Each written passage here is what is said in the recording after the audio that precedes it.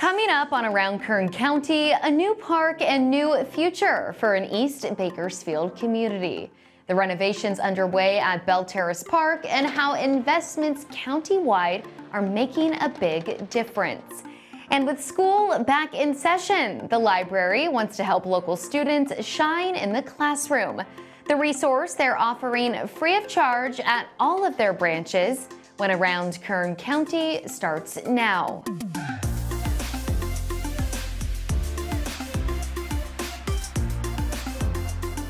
Welcome to this week's Around Kern County. I'm your host, Ali Soper. September is Suicide Prevention and Recovery Month here in Kern County, and Behavioral Health and Recovery Services is shining a light on hope, healing, and recovery by making sure our residents know they're not alone. We're so proud of this county department for their constant innovation and commitment to the well being of our community as they're the first county in the state to implement zero suicide in their system of care to reach the goal of making suicide a never event. If you'd like to access their important resources or get involved, just visit kernbhrs.org for a full list of events and outreach happening this month. And as always, if you're in need of help or support, you can call their 24 7 crisis hotline at 988 Mental Health Access Line at 800 991 5272 or Substance Use Access Line at 866 266 4898. With the start of a new month means a new focus as part of Public Health's and Kern BHRS's Grounded in Health campaign. September is Preventative Care Month with an emphasis on being proactive in taking care of both our physical and mental health. Preventative care is visiting your doctor and having screening tests run to make sure that you don't have anything going on that maybe you're not aware of yet. It's finding those health problems early so they're easier to treat. It's getting just that preventative health care in general. It's just really taking care of your body and your health before it becomes a problem. So the idea of preventative care, whether it means starting with the doctor and getting your regular checkups or talking to somebody and saying, hey, I'm really having a hard time, I'm not okay, and I need to address how I'm feeling, either place you start is the right place to start. For more information about how to get started on your preventative care journey or other tips and tricks on how to live your happiest, healthiest life, just visit kerngroundedinhealth.com. Bell Terrace Park in Kern County's 5th District is getting a major upgrade. From a new basketball court to upgraded walkways to a state-of-the-art play structure, improvements are underway.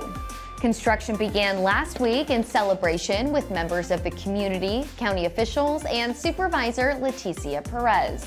This, my friends, is Kern County. This is actually Kern County. And let me tell you, it is the best of us, my friends. It is the best of us. If you look at the folks that are up here, and you'll hear from a couple of them in a moment, uh, you will see that the work that's being done here is being done so from so many vantage points and is only possible because of the synergy and the love and the devotion to the children and the families of this community. This project is one out of $10 million worth of investment happening within the 5th District. And on top of this, Kern County has allocated a historic $49 million to parks improvement projects countywide to increase the appearance, safety, and enjoyment of our green spaces. And these investments are not just for capital improvements. The Board of Supervisors has also increased funding for operations and maintenance of these same parks, as well to improve their care, their look, and their usability. It's an investment in public spaces to improve the quality of life throughout Kern County. To stay up to date with all things happening in our Kern County parks, just visit our website, kerncounty.com. With the seasons changing, it's a perfect time to clean things up before the official start of fall. Kern County Public Works is hosting multiple household hazardous waste collection events throughout the month of September. Beginning Saturday, September 9th, you can get rid of unwanted items at the McFarland Delano transfer station from 9 in the morning until 1 in the afternoon. You can also drop off your waste on Saturday, September 16th at the Lebec Transfer Station and Saturday, September 30th at the Taft Recycling and Sanitary Landfill. Public Works is encouraging residents to get rid of anything that could be considered dangerous if lying around their homes, such as cleaning products, pesticides, and other chemicals. As a reminder, hazardous waste can always be dropped off at Kern County's permanent special waste facilities located in Bakersfield, Mojave, and Ridgecrest. For more information on these collection events, please visit kernpublicworks.com. With school back in session, it's not just students in the classroom who are getting an education, but also our seniors. Anna Marie Odo has more. Kern County Aging and Adult Services is excited to offer a new technology program for older Americans to help bridge the digital divide in our community. If you or someone you know over the age of 60 is interested in learning how to properly utilize technology platforms, this program is for you. From using handheld devices to navigating the internet to creating email accounts or online banking, this free resource supports Kern County seniors understanding and accessing technology. For more information on how to sign up, please call Aging and Adult Services at 661-868-1000 or visit their website at kerncounty.com and search Aging and Adult Services.